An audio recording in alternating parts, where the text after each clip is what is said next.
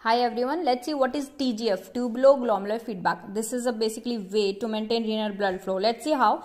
So whenever there is increase in renal blood flow, okay, there will be increase in GFR, glomerular filtration rate. There will be more sodium in lumen if there is increase in GFR. That will be sensed by macula densa. Here sodium sensors are present, okay.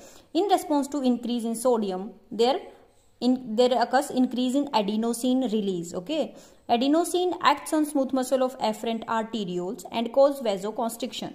And because of vasoconstriction, there is reduction in GFR and hence uh, the renal blood flow. Okay, that's how it's maintained. And vice versa, when there is a reduction in GFR and renal blood flow, less sodium will come in lumen, less adenosine release, less vasoconstriction occur. That means vasodilation occur, which increases the blood flow and hence GFR.